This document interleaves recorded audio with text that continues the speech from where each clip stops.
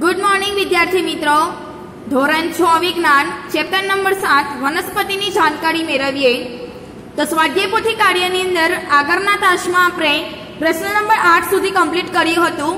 કે વૈજ્ઞાનિક કારણ આપી સમજાવો, તો એમાં એક પ્રશ્ન બાકી છે તો આપણે જોઈએ કે સામાન્ય રીતે પુષ્પો એ રંગીન અને સુગંધીદાર હોય છે. તો વૈજ્ઞાનિક કારણ આપો. તો આપણે લખીશું કે રંગીન અને સુગંધીદાર પુષ્પો એ કીટકોને આકર્ષે છે. અને કીટકો પુષ્પ ઉપર બેસે ત્યારે પરાગરજ એ તેમના શરીરને ચોંટે છે. કીટકો બીજા પુષ્પ ઉપર બેસે ત્યારે પરાગરજ એ બીજા પુષ્પના સ્ત્રી કેસર ઉપર પડે છે. આમ કીટકો દ્વારા શું થાય છે? પરાગનયન થાય છે. માટે કીટકો દ્વારા પરાગનયન થઈ શકે તે માટે પુષ્પો રંગીન અને સુગંધીદાર હોય છે. હવે આપણે પ્રશ્ન નંબર નવ જોઈએ કે તફાવતના બે મુદ્દા આપો.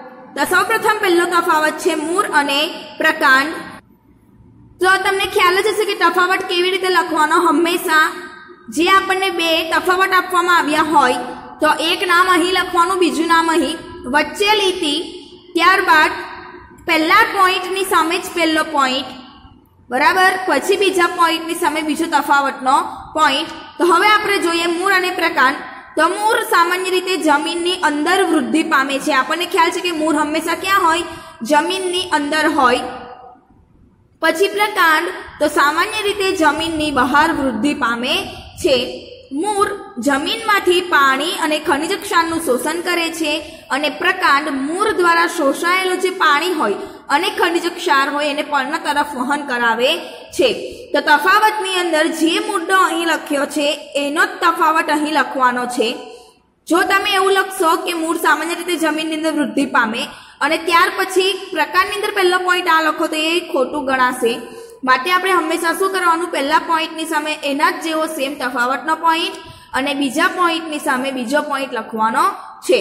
હવે આપણે સેકન્ડ તફાવત જોઈએ, છોડ અને ક્ષુપ તો છોડની ઊંચાઈ એક ક્ષુપ કરતાં કેવી હોય છે? ઓછી હોય છે.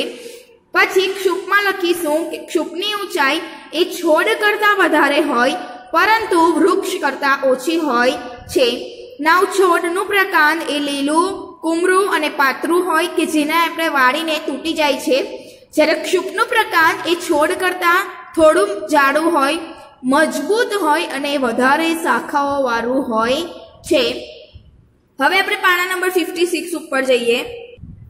હવે આપણે ત્રીજો તફાવત જોઈએ સોટી મૂર અને તંટુ મૂર તો આપણને આકૃતિ સહિત આપણને ખ્યાલ છે કે સોટી મૂરની અંદર મુખ્ય મૂર હોય છે અને તેને શાખા અને ઉપશાખા મૂર પણ હોય છે. આપણે અહીં લખી શકીએ કે સોટી મૂરને મુખ્ય મૂર હોય છે અને તેને પાર્શ્વ મૂર પણ હોય છે. આવી રીતે પણ તમે સિમ્પલ લખી શકો. તંતુ મૂળની અંદર કોઈ મુખ્ય મૂર હોતું નથી, તેને ઘણા તંતુઓ જેવા નાના મૂર હોય છે. રાઈટ પછી બીજો પોઈન્ટ લખશું. કે સોટી મૂર એ જમીનમાં ખૂબ ઊંડે ઉતરે છે. તેથી આવી મૂળ ધરાવતી જે વનસ્પતિ હોય, એને જમીનમાંથી આપણે સહેલાઈથી ઉખેડી શકતા નથી. શા કારણે? તે એના મૂળ એ ખૂબ ઊંડે સુધી જાય છે. તેના કારણે. હવે તંતુ મૂળ એ જમીનની અંદર ખૂબ ઊંડે સુધી જતા જ નથી. માટે આવી વનસ્પતિ હોય, તેને આપણે સહેલાઈથી ઉખેડી શકીએ છીએ. તફાવતની તમે ઉદાહરણ પણ આની અંદર આપી શકો છો. હવે આપણે ચોથો તફાવત જોઈએ. જાલાકાર શિરાવિન્યાસ અને સમાંતર શિરાવિન્યાસ તો જાલાકાર શિરાવિન્યાસની અંદર પર્ણની શિરાઓ એ જાલાકાર રીતે ગોઠવાયેલી હોય છે અને સમાંતર શિરાવિન્યાસની અંદર પર્ણની શિરાઓ સમાંતર રીતે ગોઠવાયેલી હોય છે. જાલાકાર શિરાવિન્યાસ એ સામાન્ય રીતે દ્વિદળી વનસ્પતિની અંદર જોવા મળે. જ્યારે સમાંતર શિરાવિન્યાસ એક દળી વનસ્પતિની અંદર જોવા મળે છે.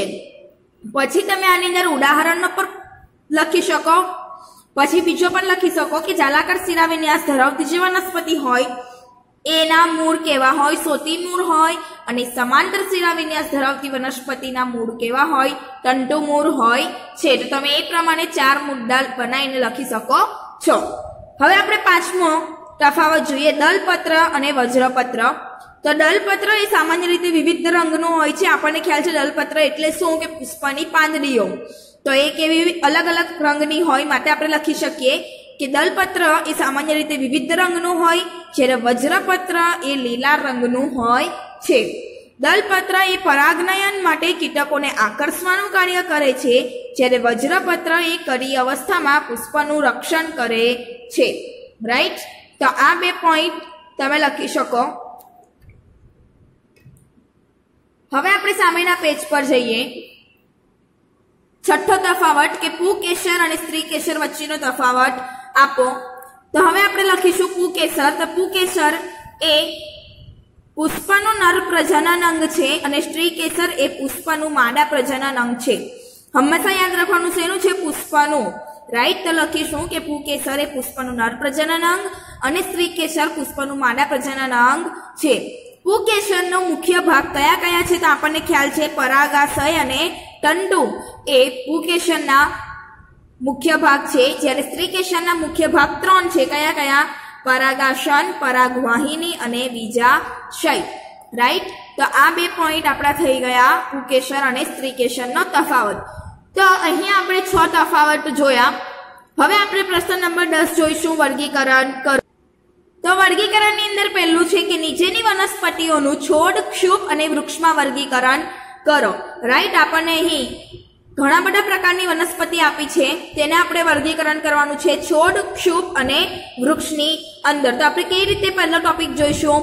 કે છોડ તો નાનું હોય, એનું કુમરું મૂર હોય, ત્યારબાદ ક્ષુપ તો આપણી મીડિયમ હાઇટનું હોય, પછી એનું મૂર કેવું હોય, થોડા પ્રમાણમાં મજબૂત હોય, ત્યારબાદ એની હાઇટ ના આધારે આપણે કમ્પ્લીટ કરી શકીએ. અને વૃક્ષ તો એ ઘટાદાર હોય, ત્યારબાદ એની શાખાઓ ખૂબ ઊંચેથી શરૂઆત થાય રાઈટ તો હવે આપણે છોડ લખીએ. તો ઉપરનામાંથી કઈ કઈ વનસ્પતિ છોડ છે તે બધા નામ લખીશું.